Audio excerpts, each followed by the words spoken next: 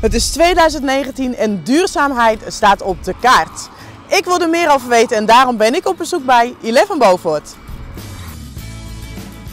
de, politiek of Europa wel ergens naartoe. En windparken eh, worden op heel veel plaatsen is er sprake van, wordt erover verteld. En ik denk, zo'n informatiecentrum is gewoon goed, waar mensen naartoe kunnen komen met vragen over windenergie.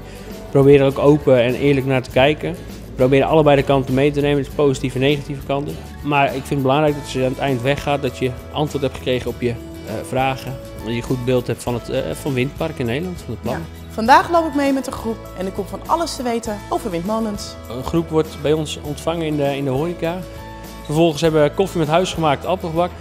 En dan vervolgens eh, vertel ik het verhaal over het windpark tot stand komen. We gaan het hebben over de moderne, nieuwe windmolens die hier in, eh, in Flevoland eh, gebouwd worden. In totaal staan er hier eh, 86 windmolens.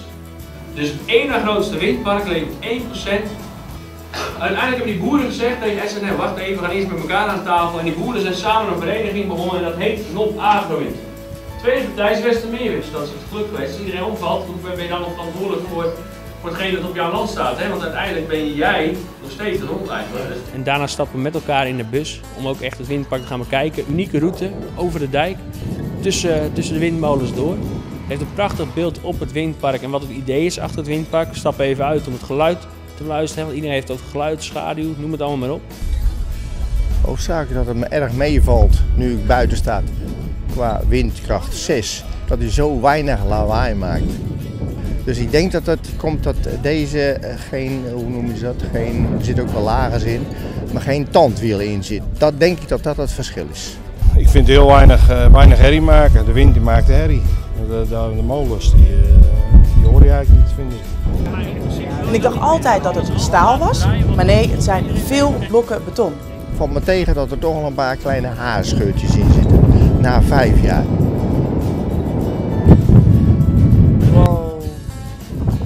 Wat maakt dat u vandaag hier bent?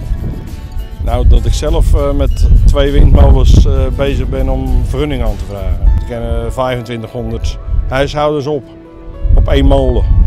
Dus ja, dan eh, praat je over, eh, over een heel dorp wat eh, op zijn windmolen kent. Het is gewoon nodig, die- die windmolens. Als je geen elektriciteit hebt, wat begin je dan zonder elektriciteit? Je, moet gewoon windmolens of zonne-energie moet je hebben. Dat is gewoon de, de, de toekomst. komen we weer terug naar het informatiecentrum. Heel soms heb je mensen die willen nog even wat weten van de kabels, van de techniek. Hè, er zijn ook speciale schermen met het verhaal van de techniek van zo'n windmolen. En hoe is het met jongeren? Als hier nou een, een, een schoolreisje wordt georganiseerd, misschien groep 7, groep 8, is dit interessant voor hun? Nou ja, we hebben de gemeente Harderwijk gehad.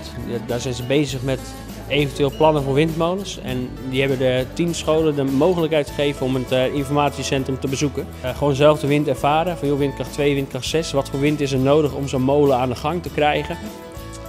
Dit moet ik dus echt even proberen. Wel benieuwd wat het met mijn haar doet, maar we gaan ervoor. Oh, lekker! is gewoon voor de kinderen. Oh, maar gaat gewoon harder. Wow! Inderdaad toen er zo heen was? Toen